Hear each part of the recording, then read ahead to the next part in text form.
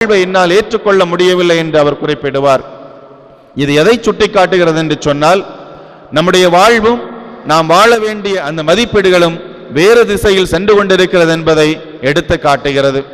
என அன்புக்குரியவர்களே முதலிலே இந்த நற்செய்தி பணியானது இந்த கிறிஸ்தவ சமூகத்திற்கு இப்பொழுது மீண்டும் போதிக்கப்பட வேண்டும் என்பதை நாம் புரிந்து கொள்ள வேண்டும்.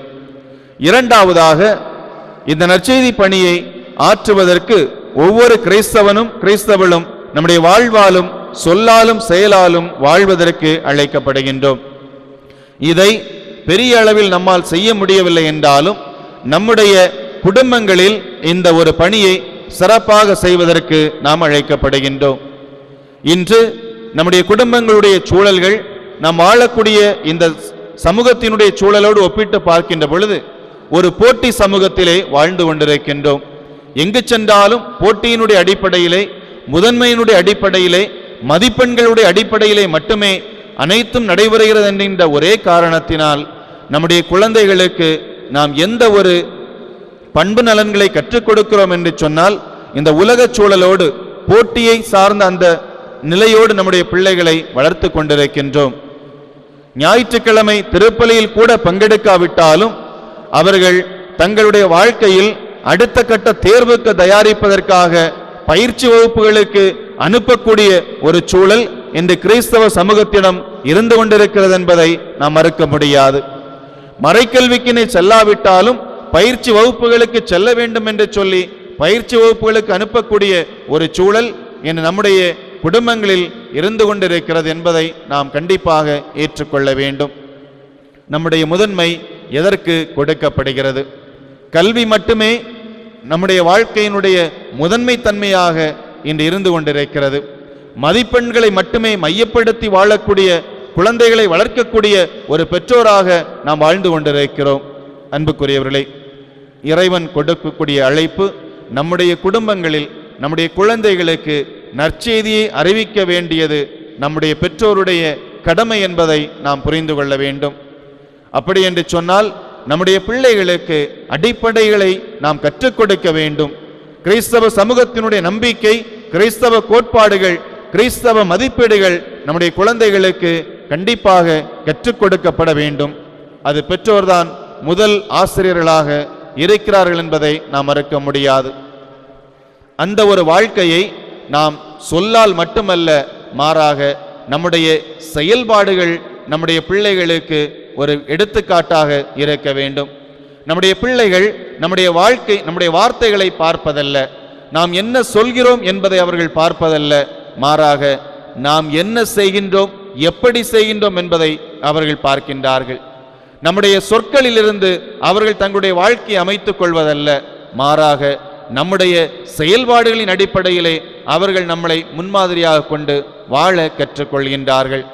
எனவே ஒவ்வொரு பெற்றோரும் தங்களுடைய குழந்தைகளுக்கு நற்செய்தி அறிவா அறிவிப்பாளர்களாக வாழ்வதற்கு நாம் அழைக்கப்படுகின்றோம். நம்முடைய குடும்பத்திலே நம்முடைய பிள்ளைகளுக்கு நம்முடைய கணவன் மனைவிக்கு நாம் நற்செய்தியாளர்களாக மாற இறைவன் நம்மை அழைக்கின்றார். இரண்டாவதாக நாம் பணி செய்யக்கூடிய இடங்களில் நம்முடைய தனித்தன்மையை காட்ட வேண்டும். இந்த தனித்தன்மை எதை வெளிப்படுத்த வேண்டும் என்று சொன்னால் நான் ஒரு கிறிஸ்தவன் என்று சொன்னால் இயேசுவினுடைய மதிப்பீடுகளை கடைபிடிக்கிறேன் என்று சொன்னால் அங்கே நேர்மைக்கும் உண்மைக்கும் சான்று பகரக்கூடியவர்களாக நாம் வாழ அழைக்கப்படுகின்றோம். அப்படி என்று சொன்னால் லஞ்சம் தவிர்த்து நாம் வாழ்வதற்கு அழைக்கப்படுகின்றோம். நேர்மையாக உண்மையாக நம்முடைய படிகளை கரிசனையோடு ஆற்றக்கூடியவர்களாக நாம் வாழ்வதற்கு அழைக்கப்படுகின்றோம். அன்புக்குரியவர்களே நம்முடைய வாழ் நம்முடைய வாழ்வு தனித்தன்மை உடைய ஒரு வாழ்வாக இருக்க வேண்டும். நம்முடைய நாம் பணியாற்றக்கூடிய இடங்களில் பிரச்சனைகள் வருகின்ற பொழுது கருத்து வேறுபாடுகள் வருகின்ற பொழுது அந்த சமூகத்தை மேலும் பிளவுபடுத்தக்கூடிய மனிதர்களாக நாம் வாழக்கூடாது. மாறாக அந்த பிரச்சனைகளை மன்னிக்கக்கூடிய மனிதர்களாக அந்த சூழலில் அவர்களை ஒற்றுமைப்படுத்தக்கூடிய மனிதர்களாக நாம் வாழுகின்ற பொழுது இறைமனேசுவனுடைய நற்செய்தியை அறிவிக்கக்கூடிய ஒரு கருவிகளாக நாம் பணியாற்றக்கூடிய இடங்களிலே மாறுகின்றோம் என்பதை நாம் புரிந்து கொள்ள வேண்டும். அன்புக்குரியவர்களே இந்த இரண்டு பண்புகளை இந்த இரண்டு சூழல்களை நம்முடைய வாழ்க்கையில் நாம் கடைபிடித்து அதன் வழியாக இயேசுவினுடைய நற்செய்தி அறிவிக்கக்கூடிய மனிதர்களாக நாம் வாழ்வதற்கு அழைக்கப்படுகின்றோம். எல்லாவற்றிற்கும் மேலாக இறைவனுடைய அருள் துணை நம்ம நம்மிடம் எப்பொழுதுமே இருக்கும். நீங்கள் என்ன பேசுவது எதை பேசுவதென்று கவலைப்பட வேண்டிய தேவையில்லை. படிக்காத ஒரு ராயப்பர் பேதிரு தன்னுடைய அந்த முதல் மறைவுரையிலே மிக தெளிவாக இயேசுவினுடைய நற்செய்தியை பறைசாற்றக்கூடிய ஆற்றலை பெறுகிறார் என்று சொன்னால் அது அவருடைய தனிப்பட்ட ஆற்றல் அல்ல மாறாக கடவுளுடைய அருள் துணை. எனவே ஒவ்வொரு சீடர்களையும் அனைத்து புனிதர்களையும் வழிநடத்திய கடவுள் இன்று நற்செய்தி பணி ஆற்றக்கூடிய நம்முடைய திருச்சபையை தொடர்ந்து வழிநடத்தக்கூடிய அந்த கடவுள் நம்முடைய வாழ்க்கையிலும் அதே ஆற்றலை தருகின்றார் நம்மோடு உடனிருந்து வழிநடத்துகின்றார் என நம்பிக்கையும் விசுவாசமும் நமக்கு இருக்க வேண்டும். அது இருக்கின்ற பொழுது நம்மால் தொடர்ந்து இயங்க முடியும் பணியாற்ற முடியும் எந்த சவாலையும் எதிர்கொள்ள முடியும். அதற்கான வரத்தை இறைவனிடம் மன்றாடி வேண்டுவோம். ஆமேன்.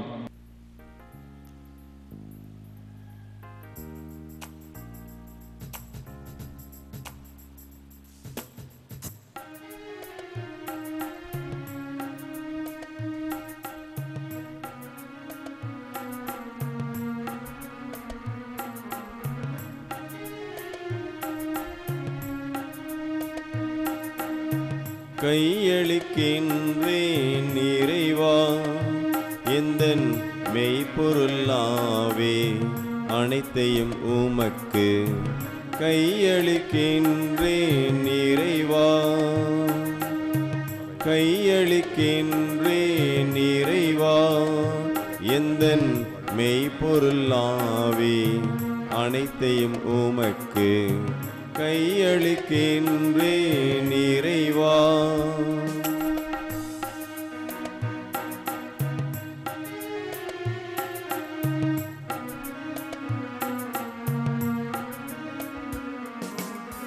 வாழ்க்கையை விட எந்தன் வளமையை விட உந்தன் அருள்நிலை ஒன்றே மேலானதே. வாழ்க்கையை விட எந்தன் வளமையை விட உந்தன் அருள்நிலை ஒன்றே மேலானதே. வாழ்க்கையில் உம்மை வாழ்த்துவது வாழ்க்கையில் உம்மை வாழ்த்துவது எல்லா வரங்களையும் விட மேலானதே. கையளிக்கின்றே நிறைவா எந்தன் மெய்ப்பொருளாவே அனைத்தையும் உமக்கு கையளிக்கின்றேன் நிறைவா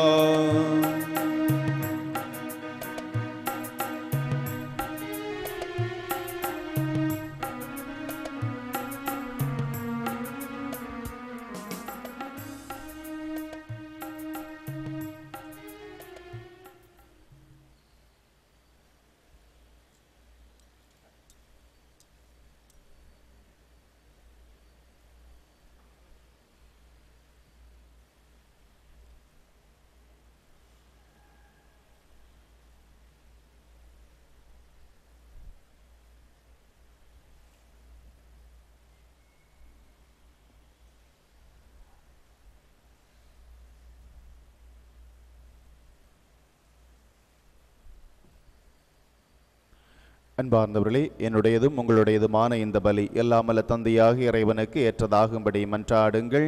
ஆண்டவர் தமது திருப்பேரின் புகழ்ச்சிக்காகவும் மாட்சிக்காகவும் நமது நன்மைக்காகவும் புனித திரு அவை அனைத்தின் நலன்களுக்காகவும் உமது கையிலிருந்து பலி ஏற்றுக்கொள்வாராக. எங்கள் இறைவனாகிய ஆண்டவரே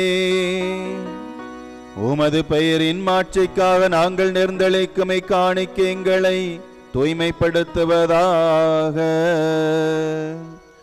விண்ணக வாழ்வுக்கு உரிய நற்செயல் புரிவதில் நாங்கள் நாளுக்கு நாள் முன்னேறி செல்ல வரம் தாரும்.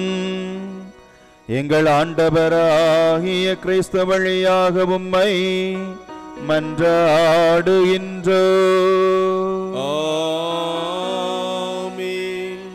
ஆண்டவர் உங்களோடு இருப்பாராக. ஆன்மாவோடும் இருப்பாராக. இதயங்களை மேலே எழுப்புங்கள். ஆண்டவரிடம் எழுப்பி நம் இறைவனாகிய ஆண்டவருக்கு நன்றி பாடுவோம். அது தகுதியும் நீதியுமானதே ஆண்டவரே தூயவரான தந்தையே என்றுமுள்ள எல்லாமல்ல இறைவா. என்னாலும் எவ்விடத்திலும் நாங்களும் அக்கு நன்றி செலுத்துவது மெய்யாகவே தகுதியும் நீதியும் ஆகும் எங்கள் கடமையும் வாழ்வுக்குரிய செயலுமாகும். ஏனெனில் எங்கள் புகழுரை உமக்கு தேவையன்று. ஆயினும் நாங்கள் உமக்கு நன்றி செலுத்துவது மது அருள் கொடையாலே நாங்கள் உம்மை புகழ்ந்துரைப்பது மது மாட்சியை மிகுதிப்படுத்தாது எனினும் எங்கள் ஆண்டவராகிய கிறிஸ்து வழியாக நாங்கள் மீட்படைய பயன்படுகின்றது. ஆகவே வானதூதர் திரளோடு ஒன்று சேர்ந்து நாங்களும் உம்மை புகழ்ந்து பாடி மகிழ்ச்சியுடன் அறிக்கையிட்டு பாடுவதாவது.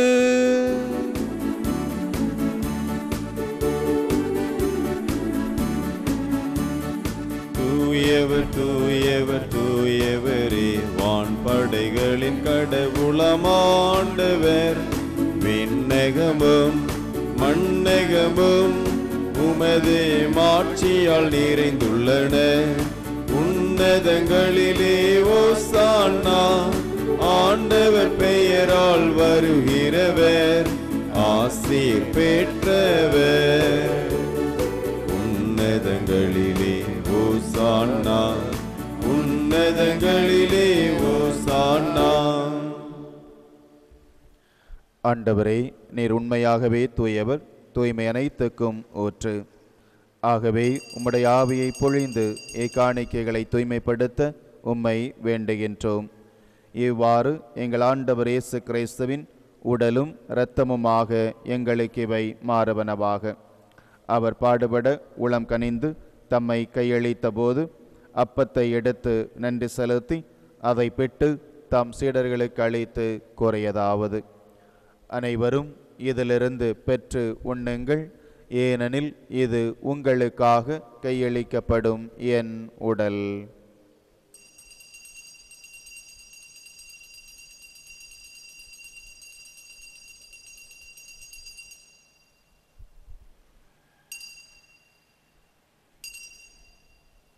அவ்வண்ணமே இரவு விருந்தை அருந்தியபின் கிண்ணத்தையும் எடுத்து மீண்டும் உமக்கு நன்றி கூறி தம் சீடர்களுக்கு அழைத்து கூறியதாவது. அனைவரும் இதிலிருந்து பெற்று பருகுங்கள்.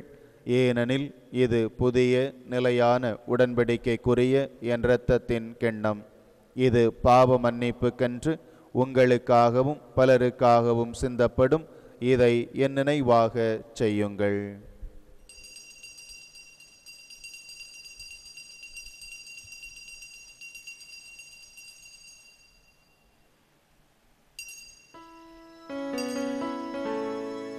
நம்பிக்கையின் மறைபொருள்.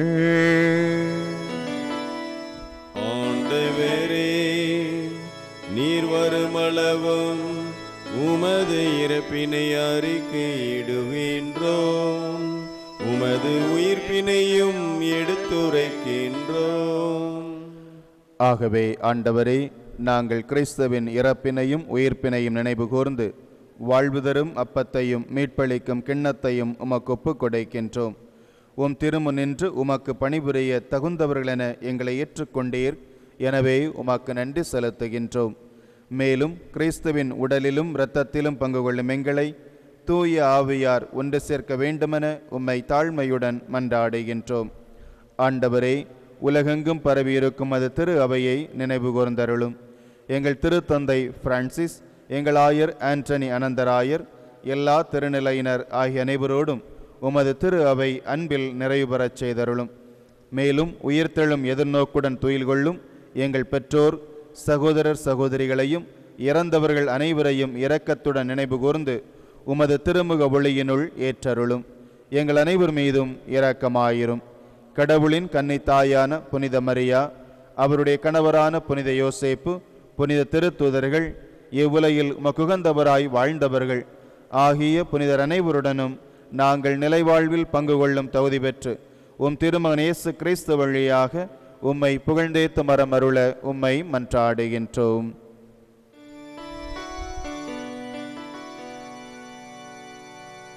இவர் வழியாக இவரோடு இவரில் எல்லாம் அல்ல இறைவனாகிய தந்தையே தூயாவியாரின் ஒன்றிப்பில் எல்லா புகழும் மாட்சியும் என்றென்றும் உமக்கு உரியதே. ஆமே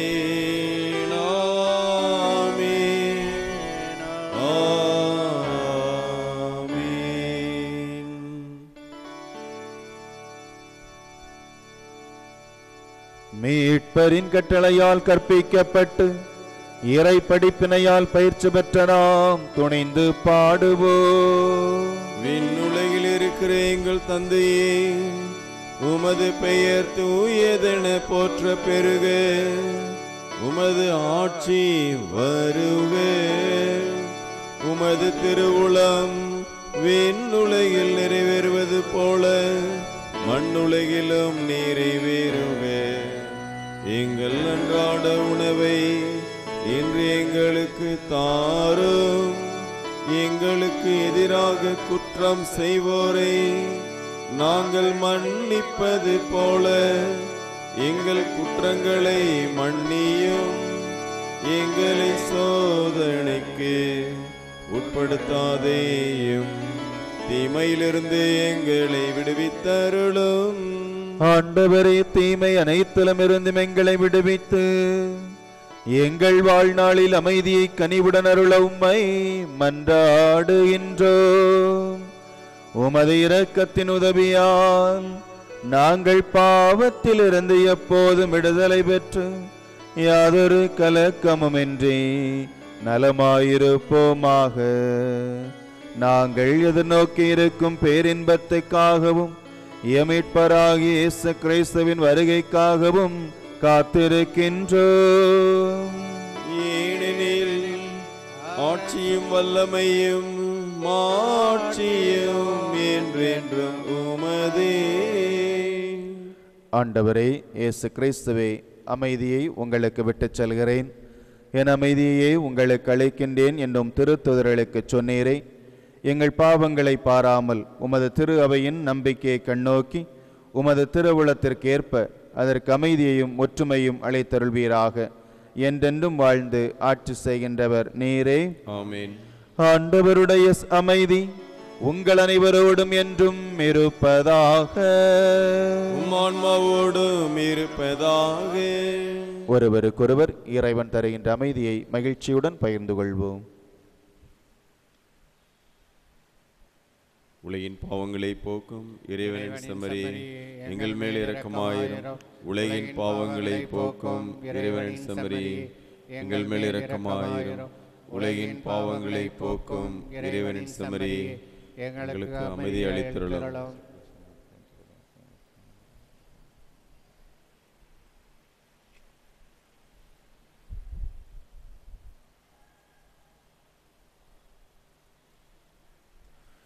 இதோ இறைவனின் செம்மறி இதோ உலகின் பாவங்களை போக்குகின்றவர்.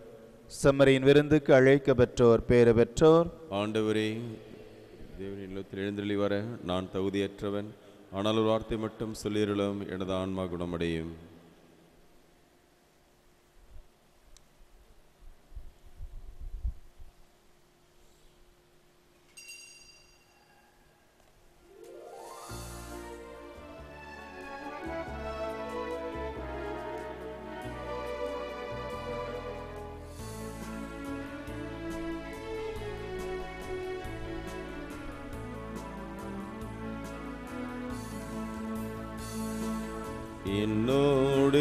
பேச வந்தாய். என் வாழ்வை நீ மாற்றி நின்றாய். என்னோடு நீ பேச வந்தாய். என் வாழ்வை நீ மாற்றி நின்றாய். என் தெய்வமே என் தெய்வமே நீ இன்றி நான் இல்லையே. வாழ்வில்லையே. என்னோடு நீ பேச வந்தாய். என் வாழ்வை நீ மாற்றி நின்றாய்.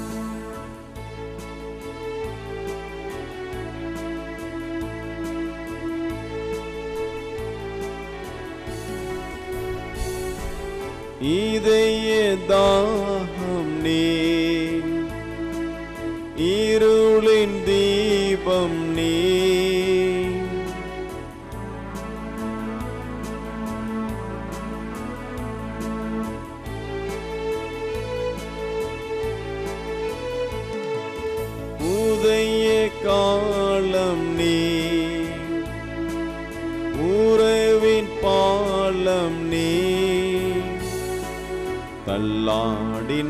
நான் தடுமாறினேன். கண்மூடி நான் வழிமாறினேன். தீயாகும் துன்பங்களில் நீ தாயாகி தாளாட்டினாய். என்னோடு நீ பேச வந்தாய். என் வாழ் என்னோடு நீ பேச வந்தாய். என் வாழ்வை நீ மாற்றி நின்றாய். நன்றி கூறி மன்றாடுவோ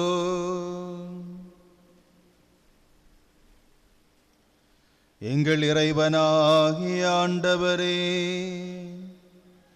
மாண்புக்குரிய கொடைகளால் நிறைவற்ற நாங்கள் உம்மை வேண்டுகின்றோம். அதனால் மீட்பளிக்கும் கொடைகளை நாங்கள் என்றும் பெற்றுக்கொள்ளவும் உம்மை இடையராது புகழ்ந்தேத்தவும் அருள்தாரும். எங்கள் ஆண்டவராகிய கிறிஸ்து வழியாக உம்மை மன்றாடுகின்றோ.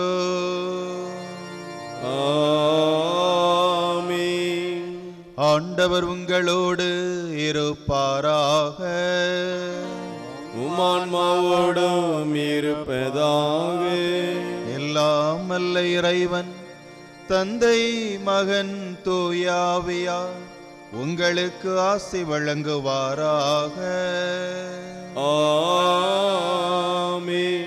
கிறிஸ்துவின் அன்பிலும் மகிழ்ச்சியிலும் சென்று வாருங்கள் இறைவன் நம்மோடு.